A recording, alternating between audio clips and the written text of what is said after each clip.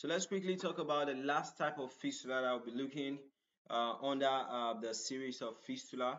And this is the rectovaginal fistula. And I've told you guys that uh, a key point to actually understanding a fistula is actually to know the definition of fistula itself. All right. Now note the word that they use before the fistula. Okay.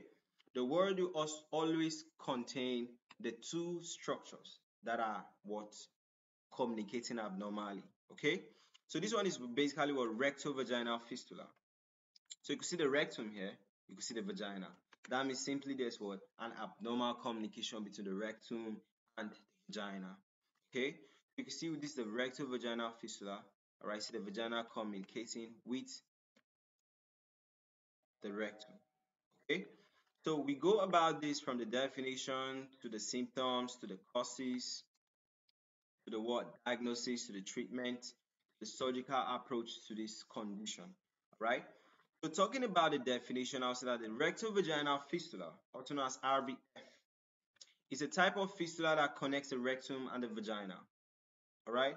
Now, if the rectum is connected with the vagina, anytime you want to defecate, some stools or gas will move into the vagina. Okay. So this will allow stools or gas to move from the rectum into the vagina, and this can lead to symptoms like what passing stool or gas through the vagina. That's crazy. Vaginal discharge or pus, pain or discomfort during sex, abdominal pain or discomfort, constipation or what? Difficulty controlling bowel movement. Right? So what are the possible causes? Childbirth to could cause this. If you have prolonged labor or forceps delivery, you could injure yourself and this could result. Surgeries like what?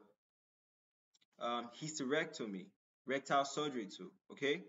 Then trauma like what? Pelvic fracture, vaginal injury can result to this. Infections like what? Rectal or vaginal abscess. Cancer like what? Rectal, vagina, or cervical cancer.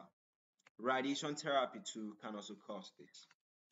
So you see this rectal vaginal fistula, communication between what? The rectum and the vagina. Okay, so what is the diagnosis? Of course, you need to do physical examination. All right. If you see like a passage of gas or stool through the vagina, you suspect and all the stuff, okay? Passage of discharge you suspect. Right, so physical examination and imaging studies like what? Ultrasound, CT scan, MRI scan, basically to have a sagittal view like this. Endoscopy like colonoscopy, sigmoidoscopy, uh, fistulography like contrast studies to visualize the fistula, biopsy if needed. What are possible treatments? Surgical repair, fecal diversion, that's colostomy, antibiotics for possible infections, bowel preparations like what bowel cleansing and antibiotics, uh, vaginal preparation like estrogen therapy, dietary modifications like what low residue diet.